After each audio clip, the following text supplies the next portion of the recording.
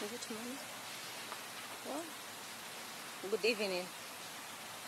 Um, as you can see, part of the commissioners uh, are here uh, because this is what we want to say. We have done the 2022 general election in the most effective and efficient manner.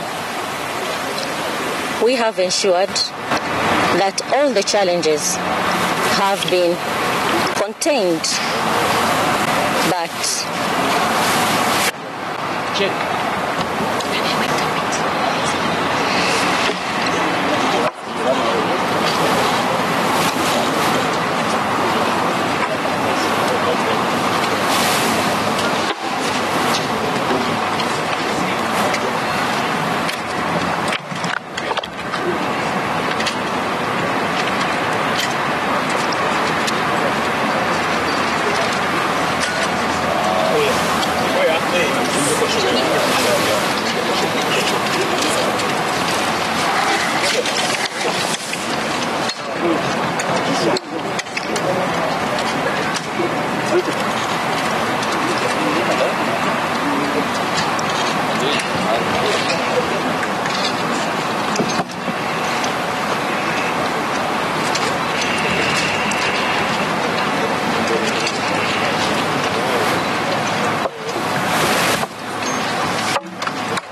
Ahead, go ahead. Stop. Okay. Uh, as you can see, we are part of the commissioners in the IEBC. We have conducted the 2022 general election and we have ensured that we have improved the standards and we have ensured that we have consistently communicated what is happening. We have partnered with all stakeholders and we'll say it for a fact that as the Commission, we have done a good job. But some things need to be put out there.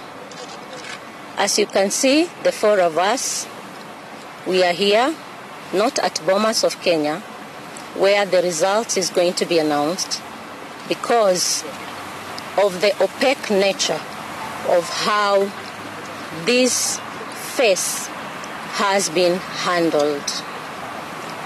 We therefore cannot take ownership on the results that is going to be announced.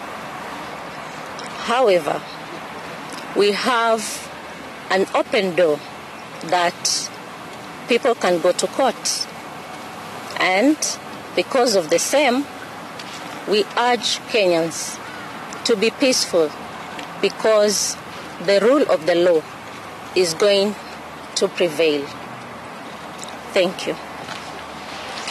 Why can't you take the? What's happening? I said because of the opaque nature of this last phase of the general election. And we are not able to take ownership of the results that will be announced. We are going to give a comprehensive statement, but this is from us, the four of us. And again, we urge Kenyans to keep calm. There is an open door that people can go to court, and the rule of law is going to prevail. Thank you. What do you mean by people can go to court? Some of the forms 34A have not been verified by the Azimio. What is not Can happening? you clarify on that? Why are you here? We have said, have you just come? Commissioner. Commissioner. Commissioner. A Question. recap because Yes. we are not going to take questions. Agreed? We will give a comprehensive detail of today's. I have said When is that likely to be? They want a recap. There are people who missed. Yes, yes. We are saying we have upped the standards of election in this country. We have step by step faced the challenges that have been there.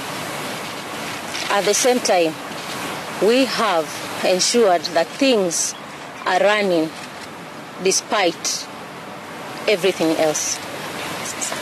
Now, we are not at Bomas of Kenya because we cannot take ownership of the results that is going to be announced because of the opaque nature which these results have been handled. We'll give details of this opaque nature very soon. Why are you doing this now? Why are you doing this now?